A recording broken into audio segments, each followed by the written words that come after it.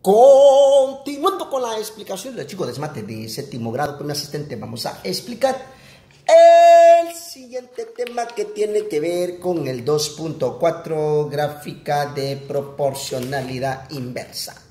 Ahora, para poder explicar este tema, chicos y chicas, hay que tener presente lo siguiente. Hay que tener presente de que la gráfica de la proporcionalidad inversa son dos líneas curvas. Ah, hay que tener presente eso, mi asistente. Ahora, y si ustedes observan en su pantalla, chicos, se darán cuenta que en esta oportunidad nosotros solamente vamos a explicar lo que es el literal B. Ahora, ¿y por qué solamente vamos a hacer el literal B, mi asistente? Ah, porque el literal A ya se encuentra dentro del canal. Solamente cuestión de que los chicos lo busquen ahí en el canal de YouTube, que le pongan el nombre del tema, que es 2.4, gráfica de proporcionalidad inversa, cuya constante es positiva, y pónganle allí literal A, o sea, que sería el primer ejercicio, y ahí es como les va a salir el video. Ahora, y para poder explicar esto, pues venimos nosotros y lo vamos a hacer de la siguiente manera. ¿Qué te parece, asistente? Lo primero que vamos a hacer es lo siguiente. Eh, si nos dice de que en cada literal completa la tabla que representa la proporcionalidad inversa y elabora lo que es la gráfica. Ahora, ¿cómo vamos a completar la tabla? Bueno, lo vamos a completar de la siguiente manera. No hay que perder de vista de que el tema se llama gráfica de proporcionalidad inversa cuya constante es positiva. Ahora, lo vamos a explicar así, chicos y chicas. ¿Cómo vamos a obtener lo que es el valor de Y? Eh, vamos a ir sustituyendo el valor de X en cada expresión y así es como vamos a obtener el valor de Y. Como por ejemplo, el valor de X en la primera es menos 9. O sea que decimos nosotros lo siguiente, mi asistente. ¿Cuánto es 9 eh, entre menos 9, que es X? A 9 entre menos 9 que es x y eso va a ser igual a cuánto? Ese va a ser igual a menos 1 y lo ponemos por aquí, ¿verdad, asistente? Menos 1. ¿Qué te parece, asistente? Continuando con la explicación, pues en el siguiente venimos nosotros y decimos así. Eh, ¿Cuánto es menos 5? Si ustedes observan, lo vamos a sustituir aquí en esta expresión. O sea que en vez de x vamos a decir menos 5. O sea que decimos, ¿cuánto es 9 entre menos 5, que es x? Y así vamos a obtener el valor de y y lo vamos a poner aquí, chicos. ¿Qué le parece? Repito, 9 entre menos 5, que es x, y así nos va a dar y. ¿Cuánto es 9 entre menos 5? Ah, eso va a ser igual a menos 1.8. Lo vamos a poner aquí, chicos. Menos 1.8. Ahora, el siguiente. ¿Cuánto es 9 entre x, que en este caso vale menos 3? A 9 entre menos 3. Y eso va a ser igual a menos 3. Y lo ponemos aquí. El siguiente, 9 entre x, que en este caso vale menos 2. ¿Cuánto es 9 entre menos 2? Ah, eso va a ser igual a menos 4.5 y lo ponemos aquí. Así es como obtenemos el valor de y. Ahí lo tenemos. El siguiente, 9 eh, entre x, que en este caso vale menos 1. 9 entre menos 1 y ese va a ser igual a menos 9. Y lo ponemos aquí. ¿Qué te parece, Ahora, el siguiente, venimos nosotros y decimos 9 eh, entre x, en este caso vale 0. 9 entre 0 y eso va, a ser igual a qué? Bueno, si ustedes observan, se darán cuenta de que 9 entre x que vale 0 no existe, mi asistente. No existe un número que multiplicado por 0 me dé 9. Por lo tanto, lo vamos a dejar en blanco. ¿Qué te parece, mi asistente? Lo vamos a dejar así. Ahora, el siguiente, cuando equivalga 1. O sea, 9 entre 1 es 9, lo ponemos aquí. El siguiente cuando equivalga a 2, 9 entre 2, y eso va a ser igual a cuánto? Eso va a ser igual a 4.5, lo ponemos aquí. El siguiente cuando equivalga a 3. ¿Cuánto es 9 entre 13? Ah, ese va a ser igual a 3. Lo ponemos aquí, ¿verdad? El siguiente, cuando equivalga a 5. ¿Cuánto es 9 entre 5? Ah, 9 entre 5. Y eso le va a dar 1.8. Pongámoslo por aquí por mi asistente. El siguiente, cuando equivalga a 9. Y 9 entre 9, ese va a ser igual a 1.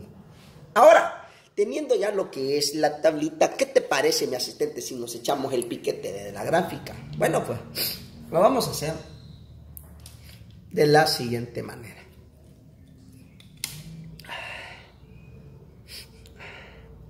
Y lo hacemos así.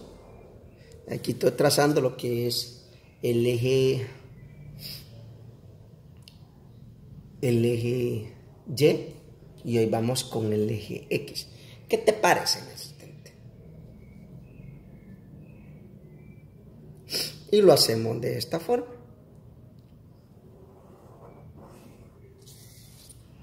Ahí lo tenemos.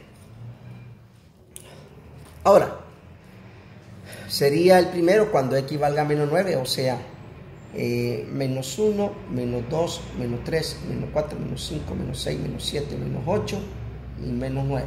Hasta acá, ¿verdad? Y ya valga menos 1, pongámoslo por aquí, menos 1. Y, y ubicamos el punto aquí.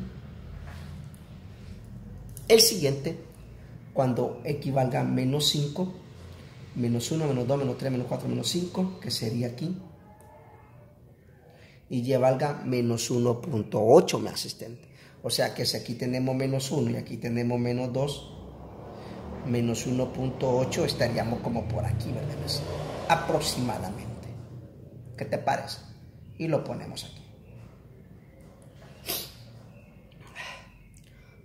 El siguiente, podemos decir, cuando equivalga a menos 3, menos 1, menos 2, menos 3, aquí, y valga menos 3, o sea, menos 1, menos 2, menos 3. Ahí lo tenemos. Y lo hacemos así. Y ubicamos el punto aquí. Menos 3 en X y menos 3 en Y. Ahí lo tenemos. Ahora, eh, aunque no salga lo de aquí arriba, mi asistente, ¿qué te parece si venimos y hacemos la la cámara un poquito de tal manera de que se vea un poquito más. Ahí lo tenemos, ¿verdad? ¿Qué te parece? Ahora, eh, decimos nosotros lo siguiente, cuando equivalga a menos 2, que aquí lo tenemos en este, y llevalga a menos 4.5, o sea, menos 1, menos 2, menos 3, menos 4, si hasta acá tenemos menos 5, entonces menos, menos 4.5 sería aquí la mitad, ¿verdad? Entonces venimos y lo ubicamos aquí. ¿Qué te parece, El siguiente, eh, menos 1 en X, aquí lo tenemos, y menos 9 en Y, o sea, menos 1, menos 2, menos 3, menos 4, menos 5, menos 6, menos 7, menos 8. Vamos a ver si sale. Mi asistente todavía no sale, ¿verdad? ¿Qué te parece si movemos la camarita un poquito para allá? Ahí lo tenemos, ¿verdad, mi asistente? ¡Qué chivo vamos! Como decía Cocolito por ahí, ¿verdad? Repito, eh, menos 1, menos 2, menos 3, menos 4, menos 5, menos 6, menos 7, menos 8 y menos 9. Y ubicamos el punto aquí, menos 1. Y lo ubicamos aquí. O sea, menos 1 en X, menos 9 en Y. Ahí lo tenemos. Ahora, ¿cómo nos quedaría la gráfica? Bueno, la gráfica nos quedaría de la siguiente manera.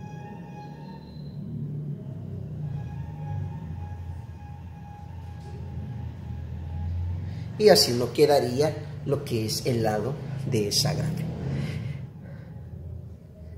Ahora, eh, si ustedes gustan chicos, le pueden poner aquí los puntos como por ejemplo menos 9, menos 1, este que sería menos 5, menos 1.8, ahí el criterio de cada quien va, este que sería menos 3, menos 3, este que sería que menos 2, menos 4.5.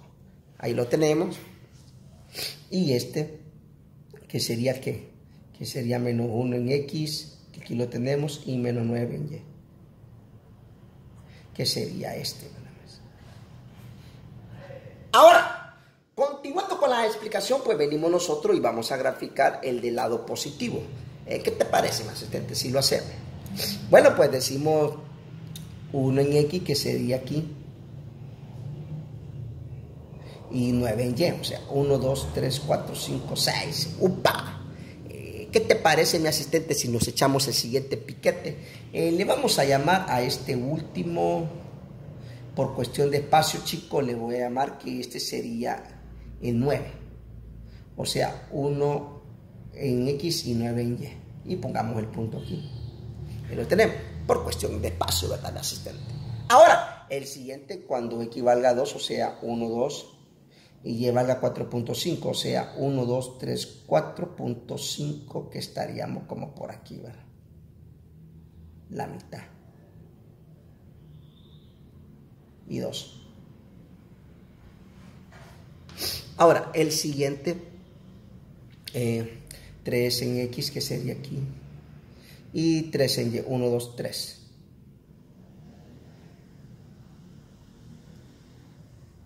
Ahí la tenemos.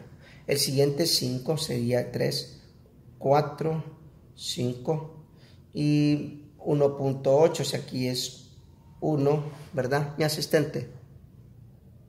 Y, y aquí es 2, entonces el 1.8 estaríamos como por aquí, ¿verdad, mi asistente?